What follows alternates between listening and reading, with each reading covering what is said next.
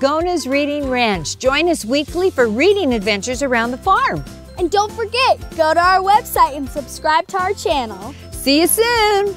Hi friends and welcome to Gona's Reading Ranch. Today we are on a construction site and I was wondering, do you know what a Diggersaurus is? Well, I didn't either until I read this book by Michael Whaite. So let's get into it and see what a Diggersaurus is. Diggersaurus, Michael Whaite. What's bigger than a digger? Bigger than a dinosaur? Diggersauruses are bigger. Diggersauruses dig with bites so big each scoop creates a crater. Chomp! They're tough and strong with necks so long. They're super excavators. Kerlunk! With cherry smiles, they dump huge piles of rubble off their backs. Rumble! They shake around and break the ground. Don't fall into the cracks. Rat, tat, tat, tat, tat, tat, tat, tat, tat, tat, tat, tat, tat. They smash down walls with wrecking balls and make themselves all dusty. Crash! Honk! Honk! They crunch and munch.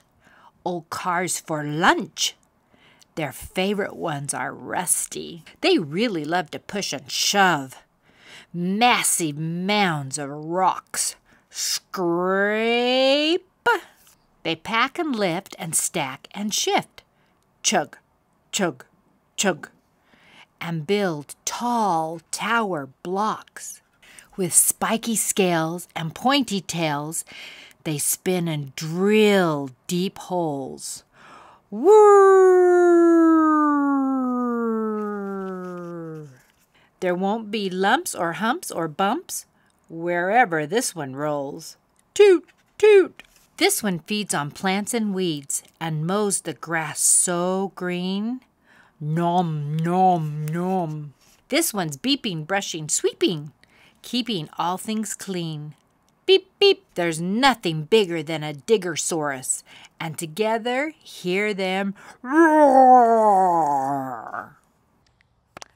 What do you think? Now I know what a Diggersaurus is. How about you? Well, in honor of reading and being on the construction site today, I wore my construction boots and I wanted to show them off to you. So if you want some construction boots, go tell your mom and dad. See you next time. Bye-bye.